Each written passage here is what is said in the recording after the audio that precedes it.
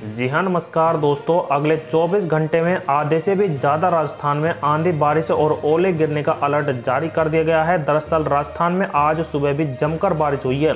जयपुर, सवाई माधोपुर, दौसा, टोंक, बूंदी और जैसलमेर में आंधी के साथ बारिश हुई है और इससे पहले झालावाड़ में जमकर ओले गिरे हैं और न्यूनतम तापमान में करीब चार डिग्री सेल्सियस तक गिरावट आ गई है। वहीं अगले 24 घंटे में जयपुर समेत प्रदेश के 20 जिलों में तेज बारिश के साथ ओले गिरने और बिजली चमकने के साथ आंधी चलने का अलर्ट जारी कर दिया गया है। मौसम विभाग के अनुसार पश्चिमी विक्षोभ सक्रिय होने की वजह से राजस्थान में मौसम में अचानक से बदलाव का सिलसिला शुरू हो गया है और ये अगले सात दिन तक जारी रहेगा। इसमें प्रदेश के अधिकांश इलाकों में तेज आंधी के साथ बारिश होगी और तापमान में तीन से चार डिग्री सेल्सियस तक गिरावट हो सकती है।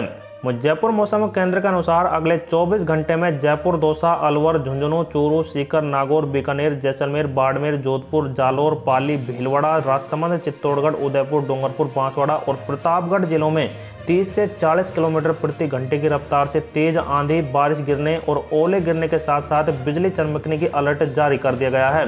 तो दोस्तों, मौसम विभाग से जुड़ी बड़ी खबर थी। वीडियो को लाइक, शेयर, कमेंट करते हुए कमेंट में अपनी राय ज़रूर दें।